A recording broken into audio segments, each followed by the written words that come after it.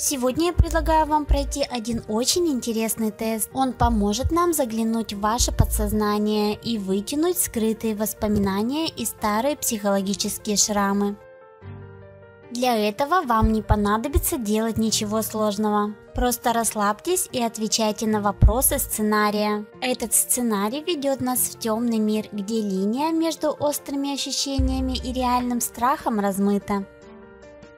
Ну а прежде чем начать, не забудьте подписаться на наш канал. Также нажмите на колокольчик, чтобы не пропустить наши новые интересные видео. Итак, давайте начнем.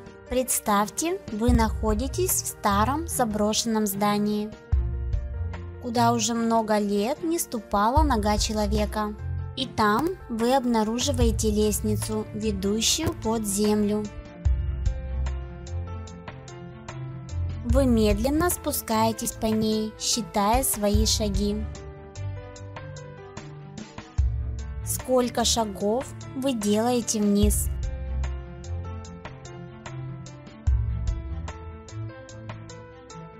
В подземной комнате кромешная тьма. Вдруг из темноты до вас доносятся звуки другого человека. Что он делает? Тихо плачет громко стонет, или вы слышите его голос, который что-то вам говорит.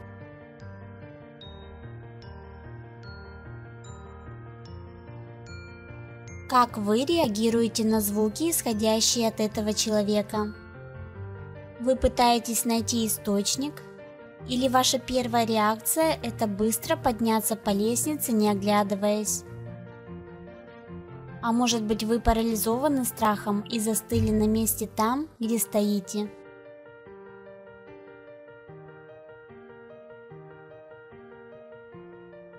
Вы видите фигуру, спускающуюся вниз по лестнице к вам. И слышите, как этот человек зовет вас по имени.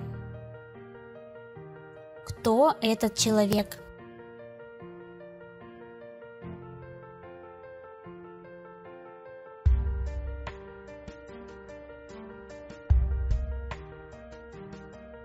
Запомнили свои ответы?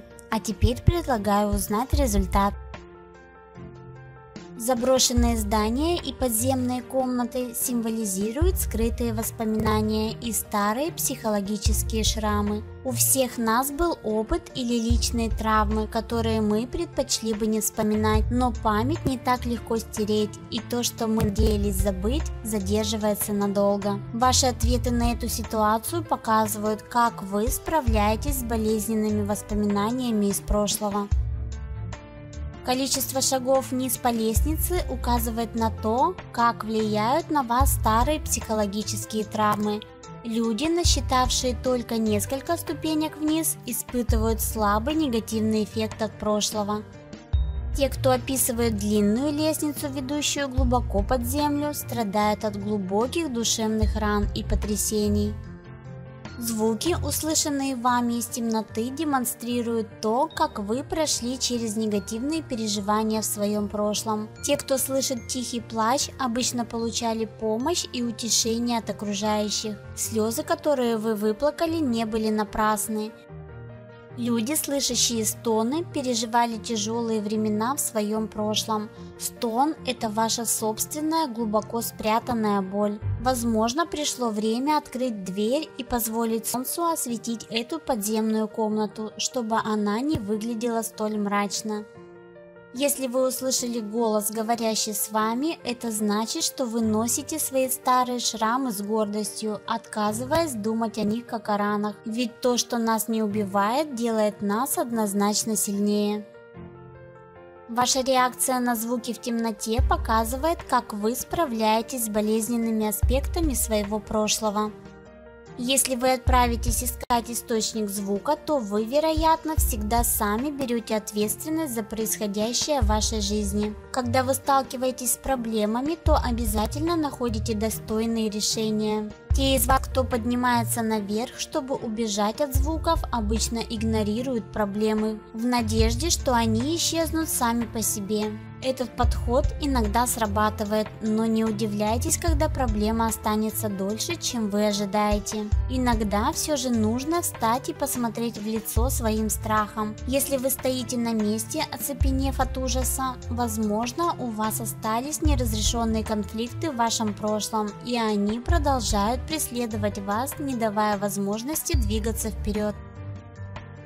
Человек, который появился на самом верху лестницы и позвал вас по имени, это тот, на кого вы можете рассчитывать в трудные времена. Вы считаете, что он всегда придет на помощь, утешит вас и поможет исцелить ваши раны. А что вы думаете о результатах этого теста? Напишите в комментариях, мне будет интересно узнать. Ну а у меня все на сегодня. Желаю всем счастья. Пока-пока.